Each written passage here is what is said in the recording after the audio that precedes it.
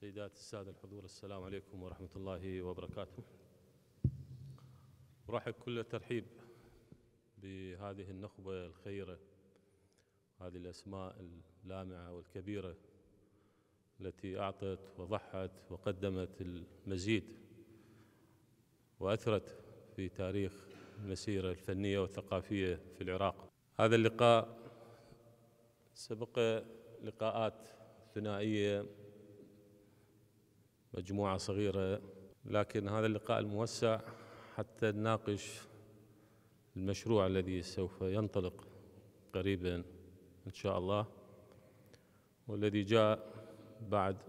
أن تمكنا من إكمال الإجراءات الخاصة بوضع التخصيصات المالية المطلوبة للبدء بنشاطات على مستوى الدراما. الاتحاد الأدباء بالنشاطات والمهرجانات حسب الأنشطة اللي قدمت وكذلك الأنشطة المتعلقة بالفنون التشكيلية والموسيقية وأدب الطفل.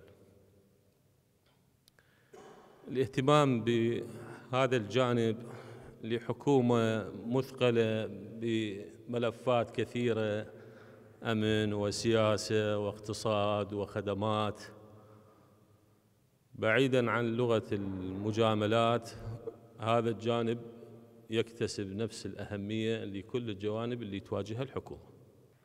اليوم إحنا عندنا مبدعين أدباء شعراء كتاب يحتاجون من يحتضنهم في أنشطة ومهرجانات ومبادرات. وهذا جزء من الرعاية اللي مطلوبة من الدولة. بدأنا في الحديث مع الأخوة المختصين سواء كان على مستوى وزارة الثقافة أو نقابة الفنانين صار أكثر من لقاء.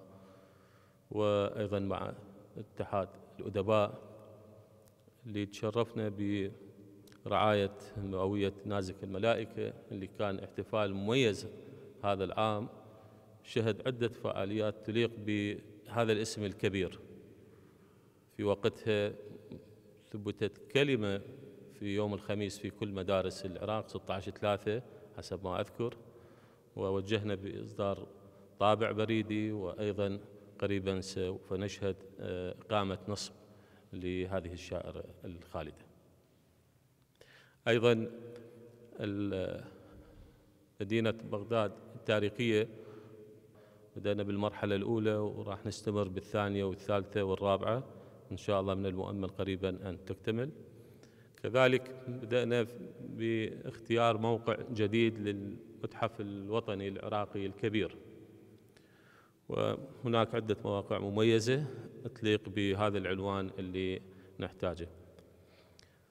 مجلس الوزراء في أكثر من مبادرة وجد أنه من الأهمية بمكان أن يرعى الفنانين والأدباء وخصصنا خمسة مليار دينار لنقابة الفنانين.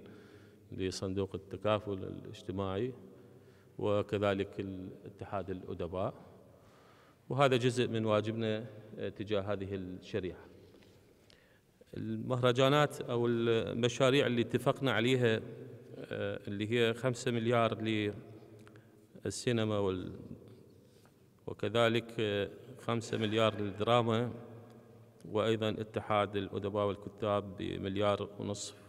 مليار للنشاطات الاتحاد لمدة سنة وفق الأنشطة اللي اقترحتوها وأيضا دعم طباعة الكتاب بمليار. هذه التخصيصات عبارة عن مشروع ثقافي كبير نحاول نحرك فيه الساحة الفنية التي شهدت حالة من الركود. وجدنا أنه لم تكن هناك أي حالة دعم أو مبادرة منذ مشروع بغداد عاصمة الثقافة. هذا المشروع وما خصص له من أموال لا يوجد عليها أي شرط حكومي ولا مطلوب منها مراعاة مزاج الحكومة أو أي جهة. هذا عمل للثقافة بشكل مطلق بشرط أعتقد كنا نتوافق عليه هو تقديم أعمال فنية عالية المستوى تليق بهذه الأسماء الكبيرة والمبدعة. هذا كل هذا اللي نريده. وكل ما كانت هناك أعمال مبدعة بمستوى راقي فأكيد الحكومة حاضرة وجاهزة للاستمرار بالدعم.